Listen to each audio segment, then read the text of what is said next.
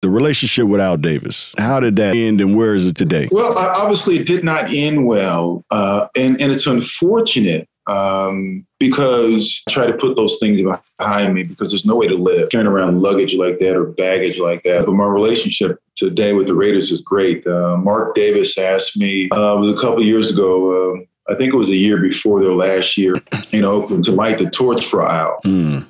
And that that was my way of saying, hey, this is all the past yeah. and this is now the future and stuff. You know, once a Raider, always a Raider. One person does not color, you know, an entire organization right. negative for me. Right.